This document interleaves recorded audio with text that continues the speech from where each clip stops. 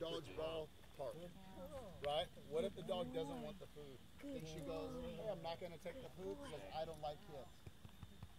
So we're not we're not letting we're not leaving it up to the dog how she's going to react to a kid. We're saying you can't do this. Right? There's certain things that you just can't